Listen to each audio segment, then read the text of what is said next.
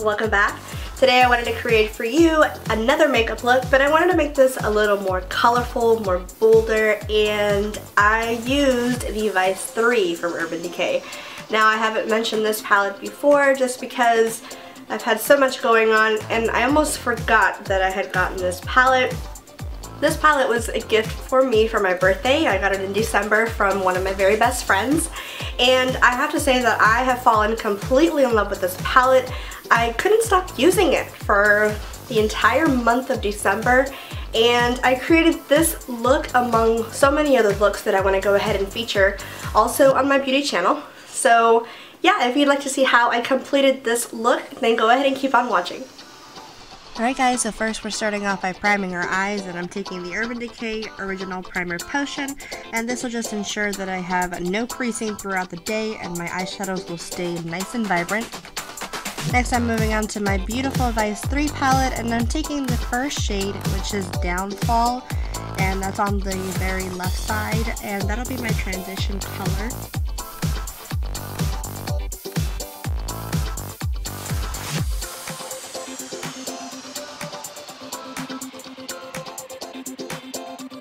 Next I'm taking the shade Freeze and I'm taking a flat shader brush for this one and just packing that all over my lids.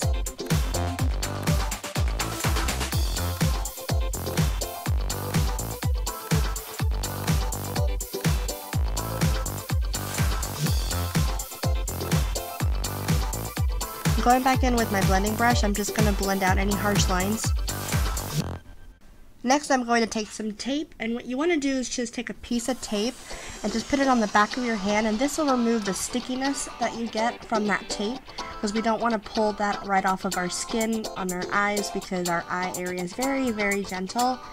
So we want to go ahead and just place that where you want your sharp line and you want to make sure you try to make them as even as you can so they don't look like there's much of a difference. And then I'm taking the shade Heroine and it's this beautiful matte blue. And I'm taking a crease brush from Sedona Lace and I'm just going to concentrate this into the outer corner and buff this also into the crease. And then I take my blending brush and just go back in and buff out any harsh lines.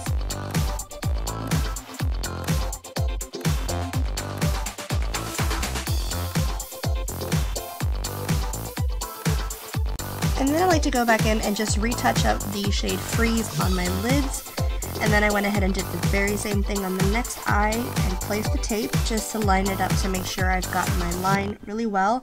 And then I went in with Heroine and just did the same thing I did as the other eye. And you want to make sure through each step you want to go back and blend in between shades. That way it'll minimize the harshness of the buffing out and just making the any harsh lines just buffed out and blended out really well. And that's what I'm doing here. I'm just buffing out any harsh lines. You want to make sure you blend. You can never do too many, too much. you can never do too much blending. And then I'm taking Bobby Dazzle just to highlight the inner corners of my eyes.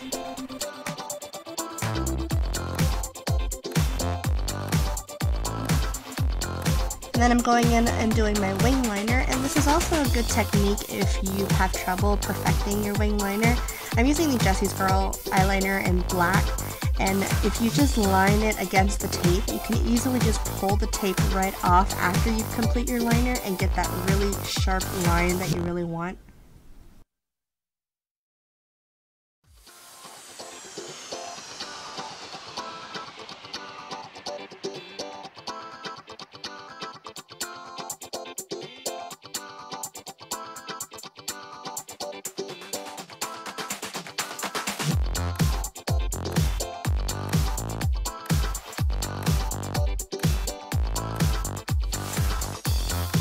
And then I went back in with my blending brush just to blend out any harsh lines. And then of course I hit my top lashes and my bottom lashes with the Too Faced Better Than Sex mascara. I did apply my Demi 120 lashes by Ardell off camera just because I was having trouble. And then I did apply liner on the bottom by Too Faced.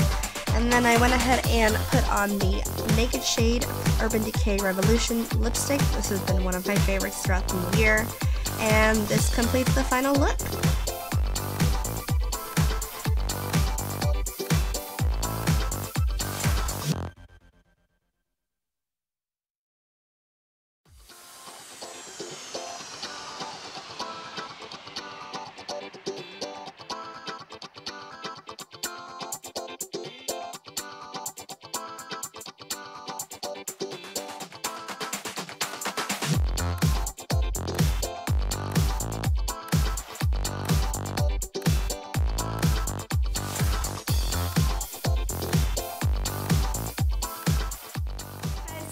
It for today's makeup look. I really hope you guys enjoyed watching it.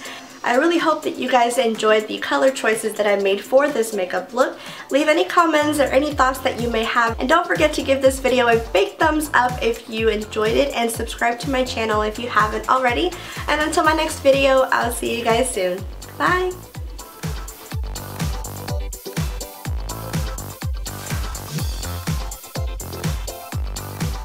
So I went ahead and just created this little...